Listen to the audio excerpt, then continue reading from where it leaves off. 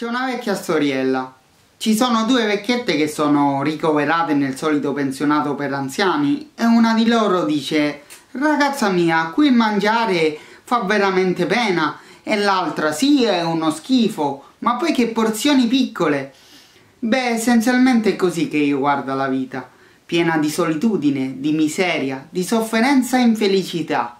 E disgraziatamente dura troppo poco, ecco. E c'è un'altra battuta che è importante per me, che di solito viene attribuita a Groucho Marx, ma credo in origine dovuta al genio di Freud e che è in relazione con l'inconscio. Ecco, dice così, parafrasandola.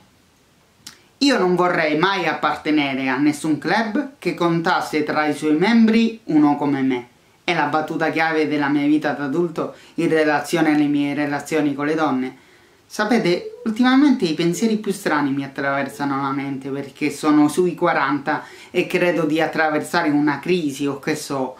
Non mi preoccupa invecchiare, non sono di quei tipi. Lo so, qua su mi si apre una piazzetta, ma peggio di questo per ora non mi è capitato.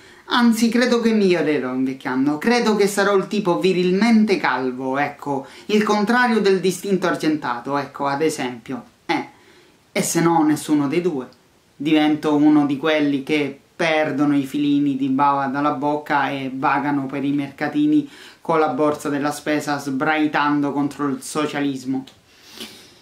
E né io abbiamo rotto.